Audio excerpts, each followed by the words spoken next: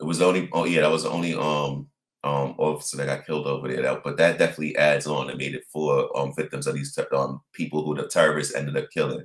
But like I said, that was a um he's never he's never gonna be forgotten. I'm definitely actually gonna um make sure we we post put his name up in a picture um definitely throughout this section with his name and the um title and everything. Says RIP to that officer because he represents a lot. He represents what Boston Strong means. Like yeah, you could take us down and all that, but what happened after that?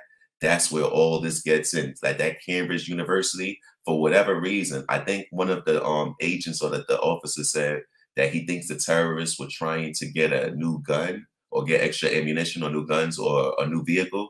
And because the officer was locked in and his hammer was locked in and his gun was locked in and his um and everything, he had to they, they couldn't get it or whatever. So they killed them for nothing literally like they kill everybody, but they killed them and they had to go